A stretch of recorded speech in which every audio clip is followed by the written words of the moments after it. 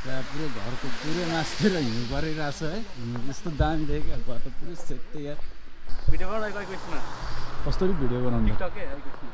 चलिरहेको थियो नि यो हिउँ पनि के हुँदो रहेछ भने यो जस्तो सेतै तपाईँले देख्नु भएको छ नि यो हिउँहरू सुरु सुरु आ होइन पहिलो दिन चाहिँ मात्रै रहेछ। त्यसपछि त झ्याउ लाग्ने यार आमामा हिउँ परे परेछ अघिदेखि। हिँडेको छ तुतु तुतु हिउँ परिरहेछ होइन। कालो भएछ नेपाल गएर उहाँ गर्दा गर्दा यार कालो भएर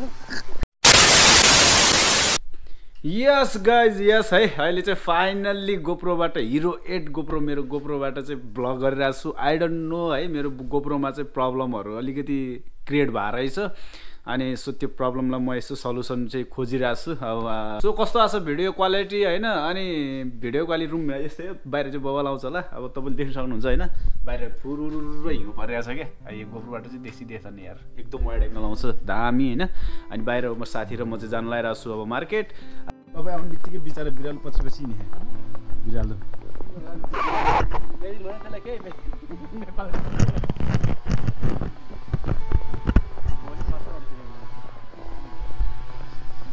यस गाइज है हामी चाहिँ अब निस्किएको अनि हो है यो दाइ आउनुभएको है त हेर्नु न कस्तो भयो त नेपाल। बसाइ?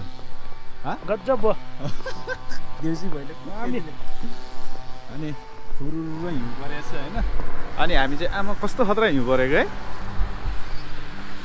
अनि हामी चाहिँ मार्केट जाँदै हो है धेरै अहिले फर्किसक्थ्यो हामी गएको भए दाइ यार मेकअप गर्दा गर्दा हेर नि यार कालो भएछ नेपाल गएर यार के साह्रो कालो भएको? पुरा उहाँ उहाँ गर्दा गर्दा यार कालो भएर वा कस्तो बाबा भनेको छ। अनि तपाईँ देख्छ भने चाहिँ पुरै हिउँ चाहिँ बबाल परिरहेछ। अनि यो गोप्रोको चाहिँ तपाईँको के छ भन्दा माइनस डिग्रीहरूमा चाहिँ गोप्रोले काम गर्दैन जस्तो लागिरहेछ क्या मैले कालिम्चोक आजभन्दा दुई वर्ष अगाडि कालिम्चोक यो गोप्रो लिएर जाँदाखेरि चाहिँ मेरो गोप्रो नै ह्याङ गर्दै थियो क्या अब यहाँ माइनस छ सातसम्म जान्छ अब यहाँ हेरौँ अब मलाई पनि ल्यायो यार हेरौँ अब कतिको चल्छ। आमामामा जुत्ता त पुरै चिसो हुने भयो यार।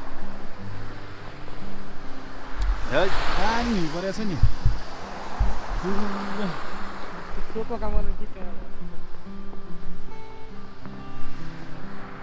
हिउँ पर्यो फुरुरु। हिमाली भेगैमा। नेपाल भन्छ नि झन् त। अनि सो त्यही हो गाइजहरू है अनि मैले धेरैजनाले मलाई सोधिरहेको मान्छेहरूको सबैको वर्क पर्मिट चाहिँ निस्केको हुन्छ होइन। अनि भिआइएफएस गरेर दिल्ली गयो। अब पोल्यान्ड एम्बेसीले चाहिँ भिजै नदिने। अनि भिजै नदिने भनेर त्यस्तो नदिने भन्ने पनि होइन। दिन चाहिँ दिन्छ तर एकदम थोरै मात्रामा क्या अक्कल झुक्कल एकजना एउटा दुइटालाई मात्रै दिने होइन। अनि धेरैले अप्लाई गर्नुहुन्छ नि त पोल्यान्डको आमामा है? आमा कम हुन्छ पोल्यान्डको अप्लाई गर्ने। अनि एउटा दुइटालाई मात्रै दिइरह देखिरहेको हुन्छु आएको देखिरहेको हुन्छु अब आउने फेरि आइरहेको छ। अनि कम्पनीको बारेमा देखाउनु भएको थियो डकुमेन्टहरू नामहरू भन्नुभएको थियो। त्यो चाहिँ हामीलाई थाहा हुँदैन है? त्यो चाहिँ अब सबै एजेन्सी अनुसार हुन्छ जस्तै हाम- हामी हामी पनि एजेन्सी अनुसार हो। हाम्रो एजेन्सीको नाम चाहिँ गिवन होइन दाइ जीवन जीवन। जीवन होइन गिवन गिवन हो हाम्रो एजेन्सी चाहिँ हाम्रो एजेन्सीले नि पहिला यसरी नै नेपाली नेपाल जीवन जीवन होइन? कस्तो जीवन। नि? जीवन। जीवन त तपाईँ नै भइहाल्यो नि। अनि नेपालबाट पहिला मान्छे नै लिएर आउनु हुन्थ्यो अरे पछि यो गिवन चाहिँ ब्ल्याक लिस्टमा पढेर चाहिँ यो कम्पनीबाट नि भिजा चाहिँ रद्द गरे भिजा दिन चाहिँ छोडेको अरे भन्छ होइन? त्यति आधिकारिक कुरा चाहिँ थाहा होइन। हो त्यस्तै त्यस्तै तपाईँहरूको ऊ हुन्छ क्या एजेन्ट हुन्छ। अनि त्यो एजेन्ट मार्फत पोल्यान्ड लिएर आउने हो क्या अनि थाहा नभएको कुरा केले गर्नु त? होइन मतलब लिएर नि? मैले त्यो होइन। अनि त्यसपछि अब त्यो तपाईँको वर्क पर्मिट पठाएको कन्सल्टेन्सी कस्तो छ? कतिको अब राम्रो छ? त्यसले कतिको कामहरू गरेको छ? ब्ल्याक लिस्टमा छ कि छैन? त्यो छैन भने चाहिँ भिजा लाग्ने चान्सेस धेरै हुन्छ नत्र अरू अदरवाइज अरू त्यस्तै ब्ल्याक लिस्टमा परेको राम्रो कम्पनी छैन भने चाहिँ भिजा लाग्दैन त्यो स्योर हो है त। अनि कमाइ भनेको पोल्यान्डमा कमाइ भनेको अब एक लाख चाहिँ हुन्छ। तपाईँले जे जस्तो गरे पनि एक महिना पाँच लाख।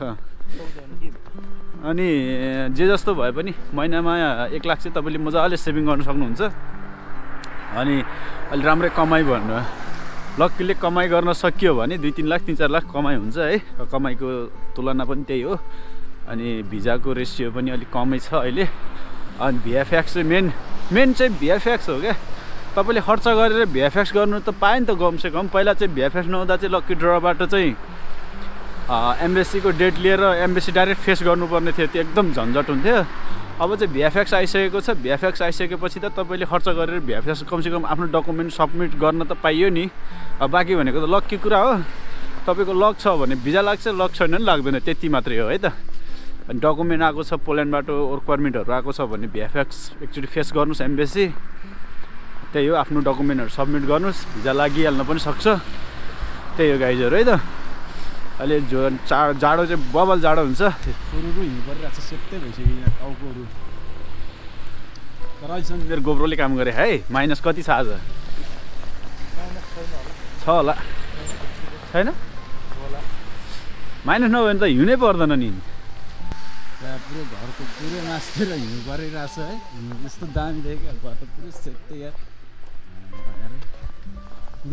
जुत्ता त यार रुममा हुँदा त सेतो थियो यहाँ हिउँमा परेपछि चाहिँ सब कालो भइरहेछ। सो गाइजहरू है अब त्यहाँ जान्छु अब मार्केट आइपिनु लाग्यो। मार्केटमा सामान सामान किन्छु। हा? भिडियो बनाइ गएको यसमा कसरी भिडियो बनाउनु? चलिरहेको न यस्तो दामी देख्छ यार। सर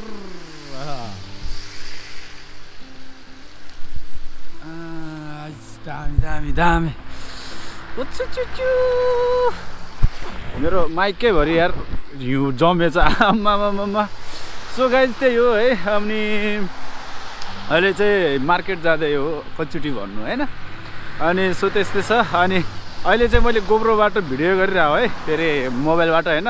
मोबाइलबाट पनि अघि गर्दै थिएँ होइन। मोबाइलबाट अब गोब्रोबाट अनि गोब्रोबाट दि दिउँसोको भ्यूहरू यहाँ वाइड एङ्गल दामी आउँछ अनि मजा आउँछ कि हेर्न।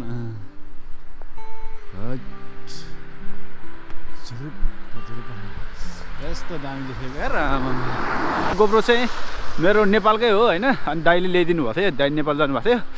ल दाइ ल्याइदिनु पऱ्यो मेरो गोप्रो होइन। भन्दै थिएँ अनि दाइले गोप्रो चाहिँ ल्याइदिनु भएछ अनि मेरो गोप्रोमा चाहिँ अपडेट मागिरहेको छ अनि प्लस यो अलरेडी गोप्रोको माइकबाट चाहिँ साउन्ड चाहिँ अलिकति राम्रो आएन अनि त्यसपछि मैले यो एडजस्ट माइक हालेर चाहिँ गोप्रोको माइक एडजस्ट माइक हालेर चाहिँ बनाएको होइन। अनि ए, त्यो चाहिँ अनि मेरो चाहिँ एडजस्ट माइक चाहिँ हालिरहेको छु मैले। यो गोप्रो चाहिँ तपाईँको अपडेट मागिरहेछ त्यसलाई म अपडेट गराउँछु कुनै दिन फेरि। अनि दामी आउँछ साउन्ड क्वालिटी गोप्रोकै है त? सो हामी चाहिँ मार्केट आइपुग्नु लागि यहीँ अगाडि यहीँ अगाडि मार्केट छ हाम्रो चाहिँ। अनि मार्केटमा चाहिँ अलिअलि सामानहरू किनेर back to room so guys स्टुडियोन है? A few minutes later. यो सेकेन्ड माई ब्लग यो चाहिँ हाम्रो यहाँ चाहिँ हाम्रो फ्रिज गाइज़ यो यो हाम्रो खोक यो हाम्रो खोक इज़ दिस खोक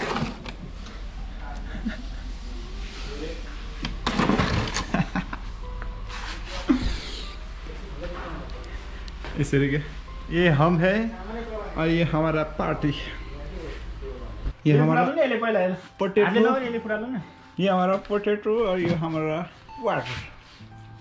आज हमारा पार्टी हो रहा है। तर किधर है? दारू अभी नहीं है। ओके थ्याङ्क यू यतिन्जेलसम्म हेरेर साथ दिनुभएकोमा। हजुरहरूलाई धन्यवाद। यदि हजुरहरूलाई यो मेरो भिडियो मन पर भिडियो मन पऱ्यो भने लाइक सेयर र सब्सक्राइब गरिदिनु होला।